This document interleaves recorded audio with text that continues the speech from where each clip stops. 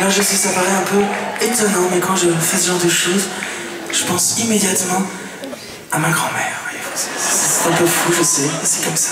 Parce que ma grand-mère était une guerrière, une guerrière poétique, une guerrière des mots, une guerrière de l'amour, une femme incroyable. D'ailleurs, mes deux grand-mères, je parle souvent de l'une, mais jamais de l'autre, qui est aussi une femme dingue. C'est des femmes qui m'ont donné des repères comme ça dans ma vie. Donc voilà, on va penser à ma grand-mère en faisant ça.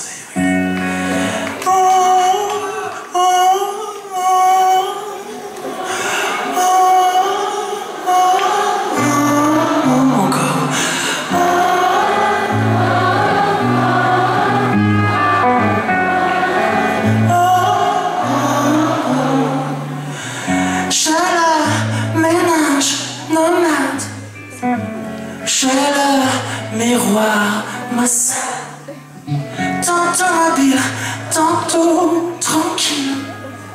Je moissonne sans bousculade.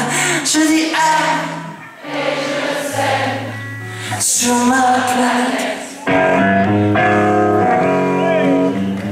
Je dis ah La haine je la jette